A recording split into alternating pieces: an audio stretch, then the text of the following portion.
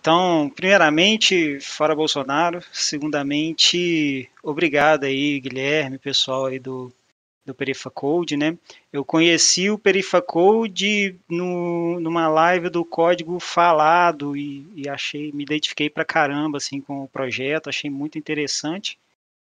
E quando vi a notícia ali de que ia ter o Meetup, eu pensei, ah, se eu falar um pouquinho da minha profissão aqui, é uma coisa um pouco diferente, às vezes eu posso atingir alguém aí que tem uma história aí mais ou menos parecida com a minha e posso fazer alguma diferença ali para algumas pessoas, né? Então, é, obrigado pessoal pela oportunidade de estar falando aqui e pelo projeto também, que é muito importante isso que vocês fazem. Vou começar aqui então. É, matemática computacional, que trem é esse, né? É, já adianta aqui que esse trem aqui é o trem de Mineiro, tá, gente? Eu sou de Minas Gerais e vou estar tá falando então um pouquinho sobre esse curso, essa graduação que eu fiz e um pouco além dela, né, sobre essa profissão matemática computacional. Então, antes de, de, antes de tudo, não, porque eu já falei um bocado de coisa, né, mas é, me apresentando aqui, né, eu sou o Tiago, eu sou de Belo Horizonte, Minas Gerais.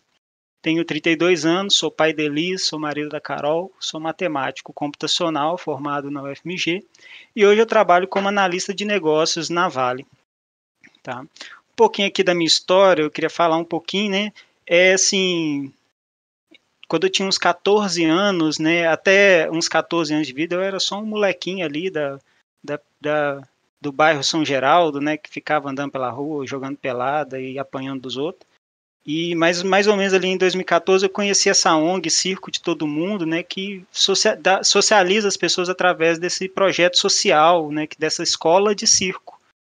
É um pouquinho parecido com o que eu acho que o Perifacode faz, né, de pegar as pessoas ali e, e ensinar ali a, a, o código, a programação, né, a questão de, da computação, né.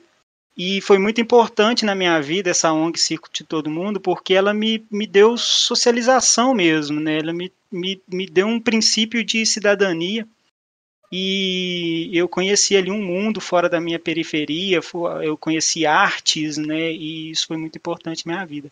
Logo depois, logo depois não, né, assim, aí beleza, veio ensino médio, pouco depois, ali durante o ensino médio, meu padrinho tem uma escola de informática, né, ele me chamou para fazer ali um estágiozinho com ele, sendo instrutor de informática, ensinar Excel, Word, né, e ali eu vi que eu podia trabalhar com aquilo, né, que eu não precisava é, é, recorrer a outras profissões, né, às vezes menos valorizadas. Eu, ali eu falei, não, é aqui que eu vou ficar, eu vou ficar na informática.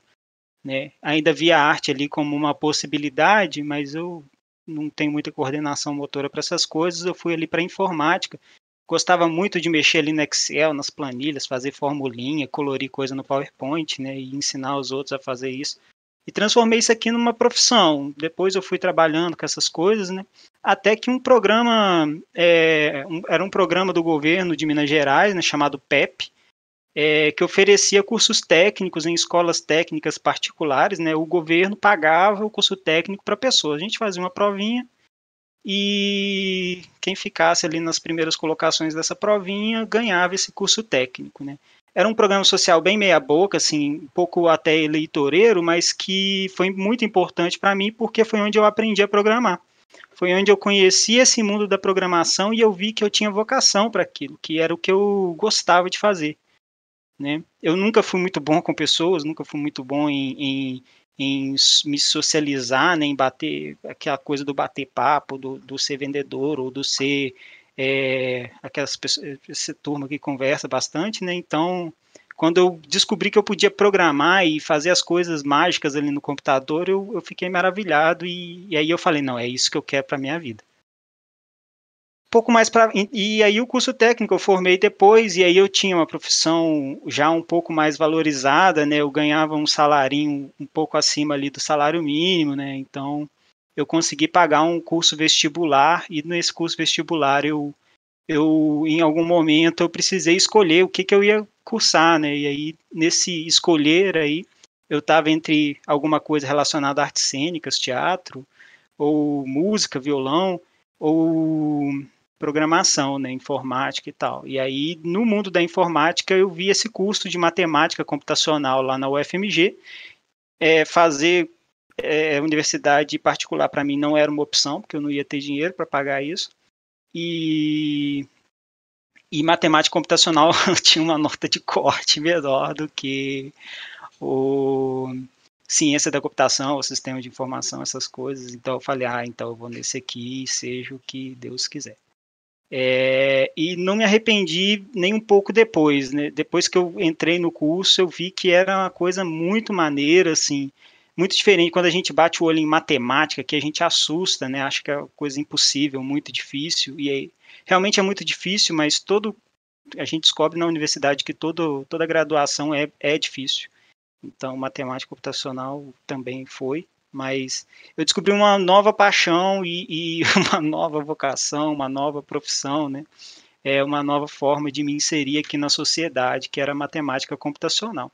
Durante o curso eu fiz um estágio na Vale, né, a mineradora Vale, e, e aí deu super certo esse estágio e, e logo que eu formei, eu, eu continuei trabalhando e estou lá até hoje, né? Então, e aí lá né, nesse, nesse nessa, nesse meu estágio, nesse meu emprego, eu descobri que a matemática computacional vai um pouquinho além da academia, né? Normalmente nas universidades federais é, são muito focadas ali no mundo acadêmico, pesquisa, ciência, né? Mas o mercado, né, as indústrias, eles têm um, um eles buscam aplicações dessas coisas todas e e aí na indústria eu, eu vi ali um, uma forma diferente de fazer matemática computacional do que a que eu estava acostumado a ver na universidade também. Então isso é um pouquinho da minha história, né? Além disso tudo aqui que eu, que eu falei, né? Assim, eu já trabalhei como então como professor de, de informática, já trabalhei como professor de lógica de programação nesse mesmo curso técnico, inclusive. É, já trabalhei como é, monitor em várias matérias aqui, já trabalhei como desenvolvedor front-end, back-end, é, com banco de dados, mas hoje o meu negócio mesmo, né, a minha, a minha profissão hoje é programação matemática, né? Então eu vou estar falando um pouquinho aqui sobre esse curso né, sobre essa, essa atividade acadêmica e, e também vou estar falando um pouquinho sobre a sobre o que, que a gente faz, né, e como que funciona, como que é essa programação, né. Vou ter, é, o objetivo, meu objetivo aqui é, é, é, atingir mais um público iniciante ali, né, talvez uma turma que esteja fazendo um curso técnico e que já esteja, ou que esteja já fazendo um, um pré-vestibular, um Enem, né, e pensando ali, ah, o que, que eu vou estudar na universidade, né? Então, o meu objetivo é, é, é mostrar um pouquinho esse, esse curso aqui, né? E atingir aí, principalmente essa turma é, que está pensando aí já na, numa formação, pensando numa graduação. Mas não só, né, assim, programação, o mundo da programação não é só para quem tem curso superior, né, o mundo da programação, da matemática, da física e de qualquer outra ciência, é qualquer pessoa, né? Então, é, se você tem interesse sobre isso tudo, a gente sempre consegue pesquisar ali no Google e, e ler um pouquinho, né, com um pouquinho de autodidática, a gente consegue aprender sim é, todos esses conceitos que a universidade apresenta para a gente, tá? Mas vamos lá então. É, então, o que é matemática computacional, né? É, eu posso olhar, eu gosto de olhar para a matemática computacional a partir de dois prismas, tá? É, um lado que, eu, que é o que eu sou mais apaixonado, que eu gosto mais, me identifico mais, é a aplicação de métodos computacionais na modelagem e solução de problemas matemáticos. Ah, o que é problema matemático? Né? Uma equação de segundo grau, tipo aquelas que a gente vê no, na, na, no ensino médio, né? é, é um problema matemático. Qual é o valor de x? Essa é uma pergunta de cunho matemático, né? E eu, ao invés de usar a fórmula de Bhaskara, eu poderia usar um método computacional, fazer um programa de computador que vai encontrar o valor de x. Ok? É, então, isso é uma forma de fazer matemática computacional. Outra forma muito, muito interessante, muito legal também, mas que eu tenho, é, eu acho ela mais é, hard, hardcore, né? É, é a, é a aplicação de análise matemática no desenvolvimento ou melhoria de algoritmos computacionais ou numéricos, né? E aí a coisa já ficou complicada só na, na escrita aqui, né? Então, análise matemática é, é você olhar para um problema com um raciocínio matemático. E matemática, sempre que a gente fala de matemática, pode não parecer, mas a gente está falando de lógica, essa lógica de programação, essa lógica que a gente aprende ali na escola, né? De é, é que é a lógica de preposições ali, né? É, isso tudo está relacionado à análise matemática, e matemática é lógica. Então, eu aplico a, a lógica matemática no desenvolvimento de algoritmos, né? ou na melhoria de algoritmos. Isso aqui está muito relacionado ao lado acadêmico, né? Então, um pesquisador que vai fazer mestrado ou que vai fazer um, um doutorado, né, na, como matemático computacional, ele vai acabar atuando muito aqui em cima desse, desse arcabouço aqui de análise matemática. É, também pode atuar aqui nessa parte de métodos computacionais, né, na implementação da coisa. E a indústria, ela vai estar um pouco de olho nessa parte de método aqui mesmo. Eu tenho, a indústria tem um monte de problemas, esses problemas podem ser modelados como problemas matemáticos, em outras palavras, né, como, como um monte de equação. E aí eu jogo esse monte de equação dentro de um programa e esse programa vai me dar uma resposta para essas equações. Tá? Então, isso, isso, é uma forma de fazer matemática computacional que a indústria, né, que o mercado de trabalho costuma é, buscar com muita, muita frequência. Tá? É, mas olhando então, voltando aqui para a parte de universidade, então, né, o que é matemática computacional do ponto de vista da universidade? Né? Matemática computacional, daqui, é um trem de mineiro, tá? Até onde eu saiba aqui, né, porque é um curso da UFMG de graduação que eu estudei. No Cefet de Minas Gerais, né, ele é um programa de mestrado e doutorado, então é, é, até uma vontade que eu tenho futuramente de fazer um, mestrado, um doutorado ali no Cefet em matemática computacional e continuar os meus estudos, né? É, em outras instituições, em outras universidades, pode entrar com outros nomes também. Então, na USP, tem um curso de matemática aplicada, e lá vai ter matemática aplicada à biologia, à computação, à física, né? Então, a matemática computacional lá vai entrar nessa parte de matemática aplicada. Lá no Rio de Janeiro, na UFRJ, já entra com o nome de Engenharia Matemática. No, no Paraná ou, ou no Ceará, né, já tem um nome um pouquinho diferente, Matemática Industrial. Tá? É, as grades curriculares mudam, a, a, as matérias podem mudar um pouquinho, o formato do curso, né, as, mas a gente está falando mais ou menos da mesma coisa. Métodos computacionais, solução de problemas matemáticos, modelagem matemática, análise, tá? É, todos esses cursos vão ter isso em comum.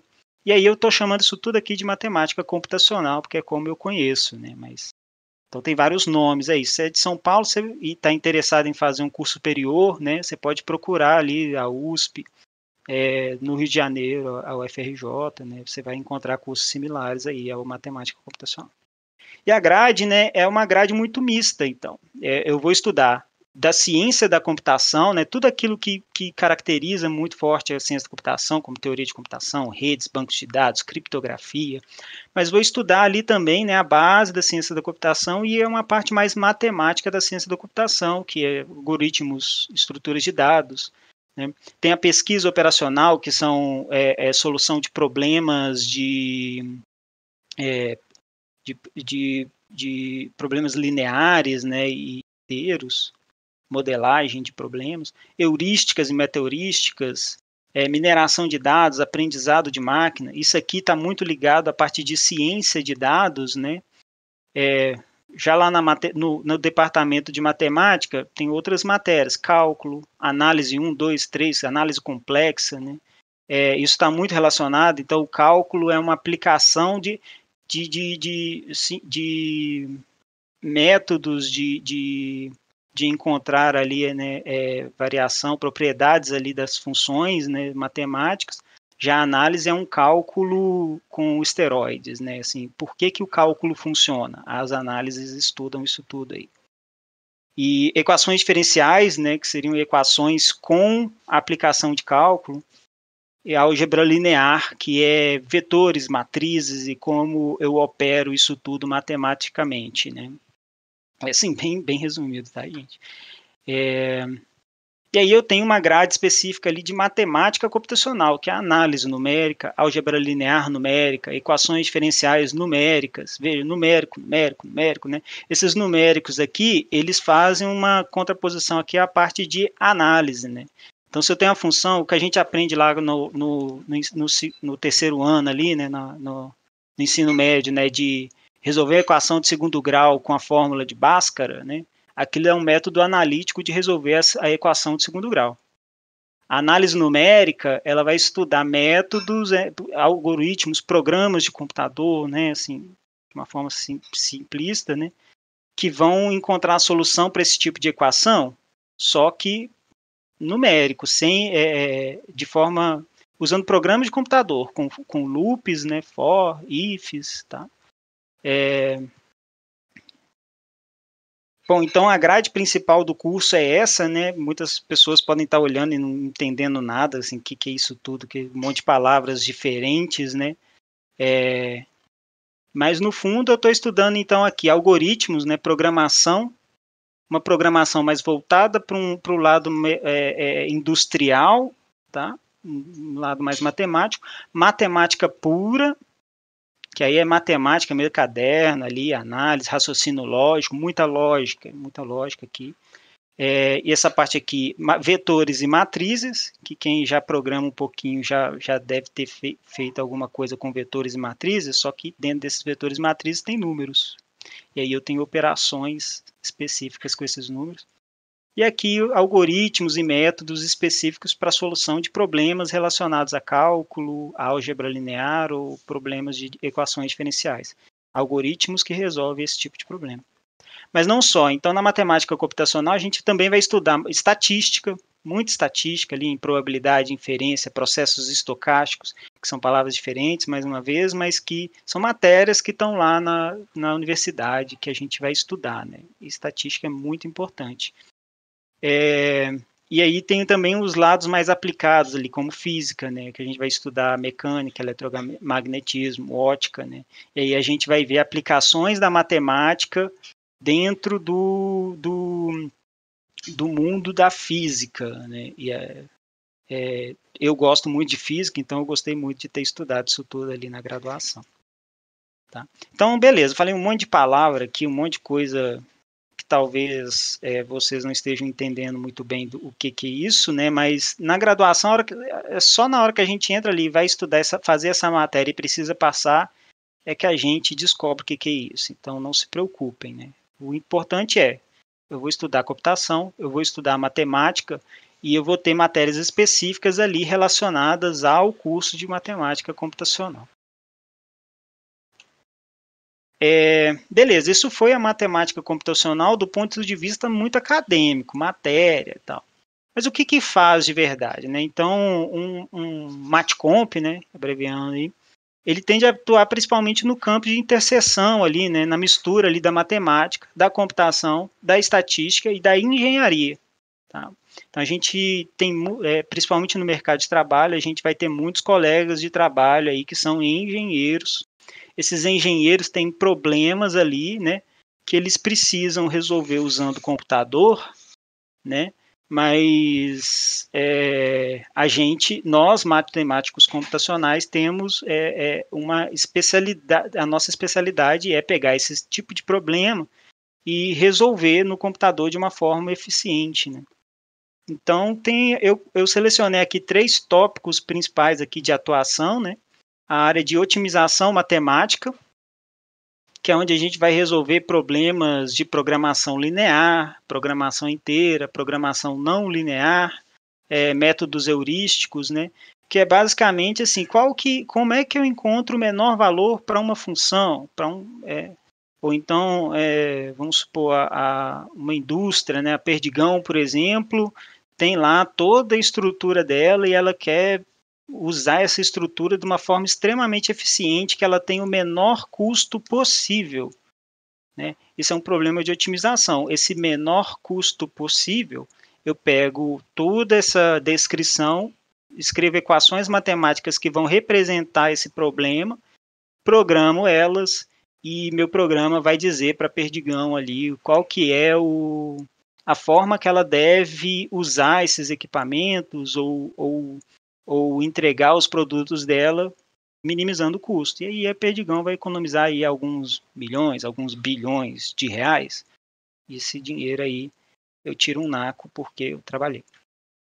É, outro lado legal aqui é a parte de ciência de dados, né, que a, a Andressa vai falar um pouquinho mais tarde aí, né, que não é uma área da matemática computacional, mas que tem aplicações da matemática computacional, né. Dentro da área de ciência de dados tem a parte aqui de algoritmos estatísticos, de machine learning, né, e esses, isso aqui tem muito algoritmo matemático que roda por trás, né, desses, desses problemas, né, desses softwares.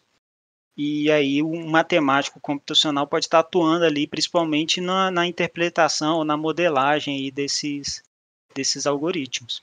Né? Mas pode atuar também nas outras partes, né, com análise de dados, visualização de dados também. E tem um outro nicho né, muito legal da Matcomp, que é o cálculo numérico né? Que aí é resolver equações de forma numérica, aquilo que eu falei, né? Eu tenho equação de segundo grau, resolver ela numericamente, né? Ou eu tenho um monte de equações diferenciais, né? E, e eu vou fazer simulações com elas, né? É, então, nós vamos empregar cálculo numérico aqui em cima desses problemas. Tem um monte de algoritmo que são usados para resolver esses problemas. Mas não só. Então, eu tenho aqui esses três áreas principais de atuação aqui, né? Mas como a gente estuda algoritmo, estuda programação, a gente estuda de tudo ali, né? Então, no fim das contas, a gente vai estar habilitado também para trabalhar como desenvolvedor de sistemas, e aí pode ser web, pode ser desktop, né? tem vários amigos que, que estão super bem nessa área de desenvolvimento é, mas pode trabalhar ali na pesquisa de bioinformática, desenvolvimento de games, processamento gráfico, criptografia, física, segurança da informação, redes, análise, gestão de sistemas. Né?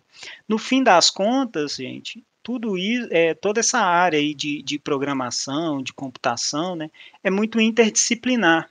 Sempre vai ter algum problema que pô, eu que sou ali analista de sistemas, eu não estudei muito ali o, o, a matemática, né? E se eu colocar um matemático computacional na equipe, de repente os dois juntos vão conseguir é, juntar o conhecimento e, e, e propor é, soluções para esses problemas de uma forma bastante eficiente, né? É, então, assim, tudo tudo está interligado no fim das contas, né? Então, é, pegando aqui, por exemplo, a área de games, né? Você pegar um, um qualquer jogo aí um pouquinho com um, um pouquinho mais avançado ali de, de, de, funcionalidades, né? Como por exemplo Angry Birds, né? Você vai precisar ali na programação desse jogo, você vai encontrar ali aplicação de cálculo numérico para calcular a rota que o passarinho vai fazer, né? O, é, otimização por exemplo, passarinho bateu nas caixas ali, né? Como é que essas caixas vão cair? Essa queda das caixas, eu enxergo ali um processo de otimização acontecendo, né? Ou machine learning, né? Então, um jogo que você está competindo contra um, um, programa de computador, por exemplo, xadrez, né? Com o adversário automático, esse adversário automático foi empregado aqui várias técnicas de machine learning, né? De ciências de dados, né? De algoritmos estatísticos que treinaram esse, esse adversário automático ali, né? Então tudo isso aqui tem matemática lá no fundo, né? Então a gente acaba conseguindo entrar em, nas mais diversas áreas da indústria. É...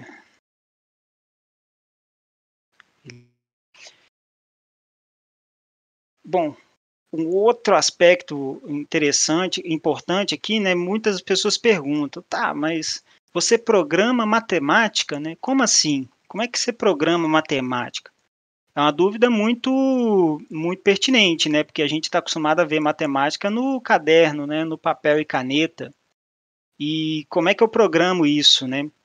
Então, na verdade, assim, existem várias formas, várias linguagens de programação, né? Normalmente as linguagens são muito específicas, muito voltadas para problemas específicos, né? Então, eu tenho aqui do lado esquerdo aqui, né, linguagens matemáticas de alto nível, né, para programação e modelagem de problemas de, de programação linear. Né? É, isso é uma é um, é, aí eu vou ter algumas linguagens específicas, né? GMPL, AMPL, Ciplex são linguagens, são formas de eu escrever é, equações matemáticas que vão ser resolvidas pelo computador. São linguagens, então não são muito linguagens de programação como a gente está acostumado, né? Assim com for, com while, com ifs e elses, funções, né? São, mas são uma, linguagens com, um, com uma sintaxe mais matemática. E nesse caso aqui, normalmente são linguagens muito específicas, eu, eu, eu, uso como input ali o meu programa e eu jogo ele dentro de um outro programa que eu chamo de solver, resolvedor, né?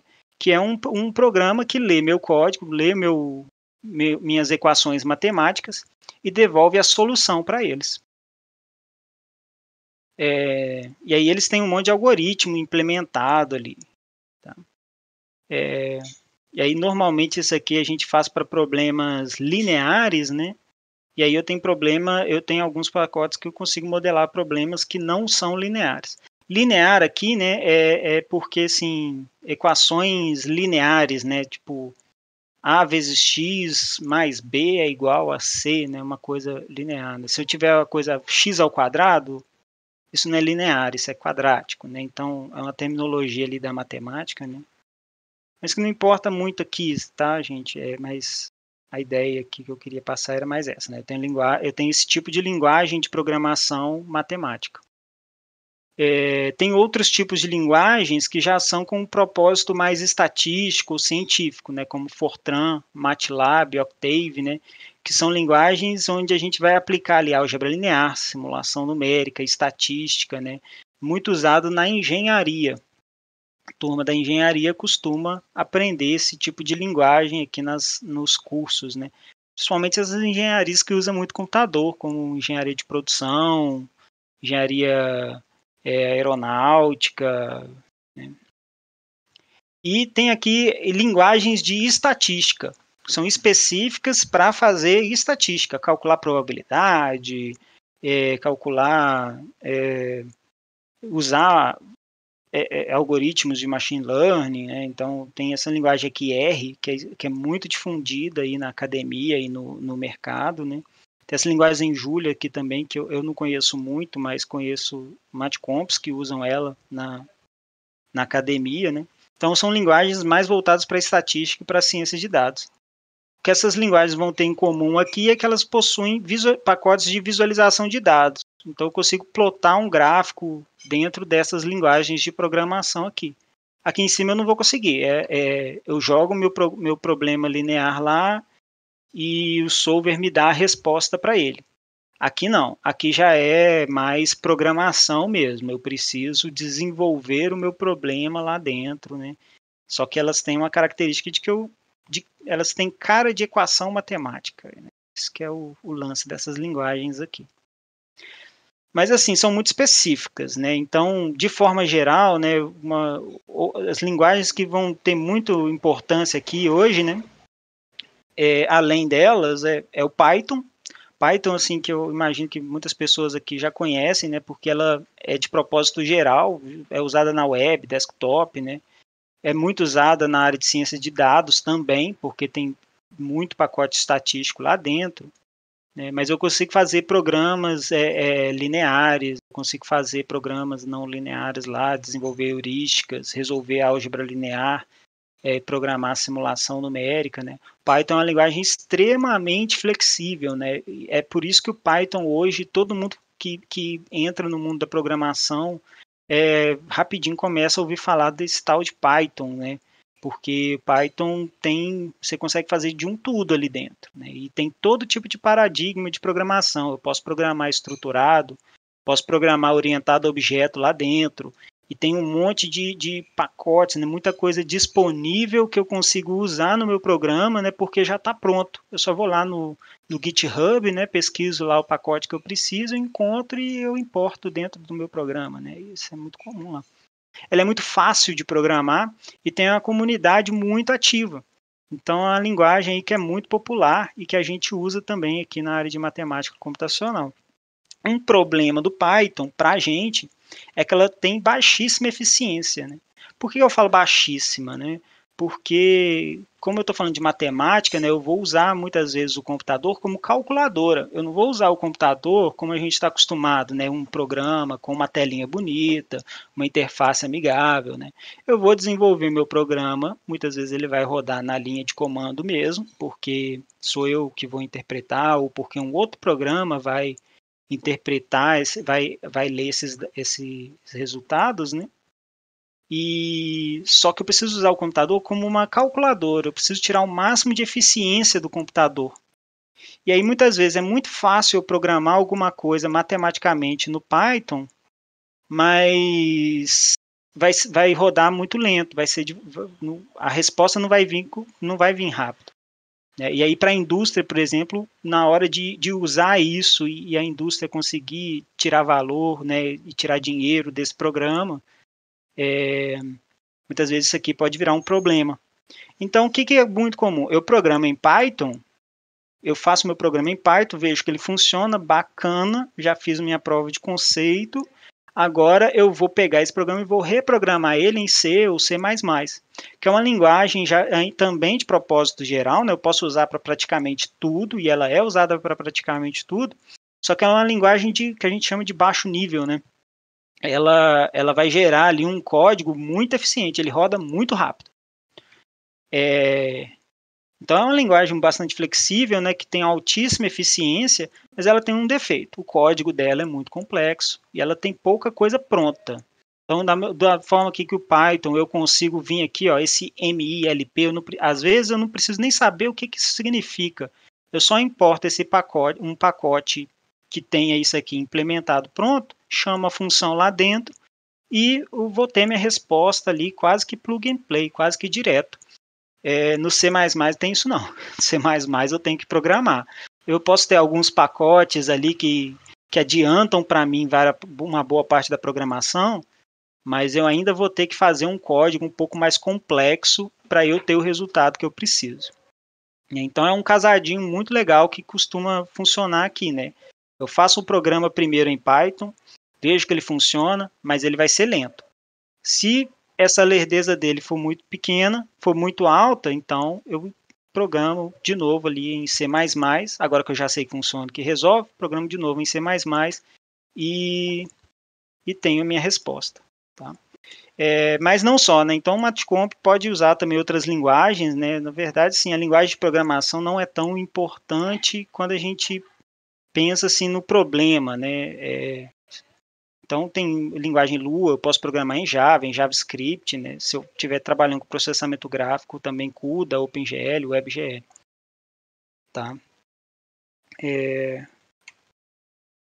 Então é isso, né? Meu tempo tá, tá curtinho aqui, tenho quatro minutos, né? Mas eu queria trazer um pouquinho da cara do que, que é um programa linear, então, né? Então eu trouxe como exemplo aqui o, um problema de transporte, que a gente chama. Né? Vamos supor que eu tenha Perdigão, ela tem um monte de fábrica e tem um monte de depósito. Né? Ela produz ali linguiça numa fábrica e precisa levar essa linguiça para um depósito na Bahia, um depósito em São Paulo, um depósito no Rio Grande do Sul.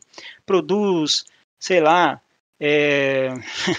produz carne de boi aqui nessa fábrica 2, precisa nos mesmos depósitos. E aí a Perdigão vira e fala para o Matcomp, olha, como que eu posso usar isso tudo aqui minimizando o meu custo, né? usar toda a minha infraestrutura obtendo o mínimo custo possível.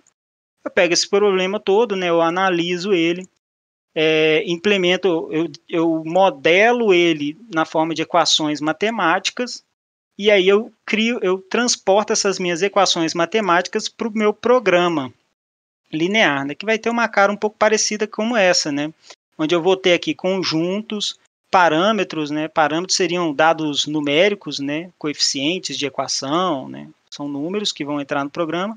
E tem minhas variáveis. E aí, essa, e aí assim, eu, eu vou me preocupar aqui muito com a dimensionalidade do programa, né? Porque isso aqui parece que tem uma variável, mas aqui eu tenho três fábricas e três depósitos. Então, para cada fábrica e para cada depósito aqui, eu vou ter uma, uma variável a mais. Então, aqui no fim das contas, eu multiplico esses dois aqui, eu vou ter nove variáveis. Tá?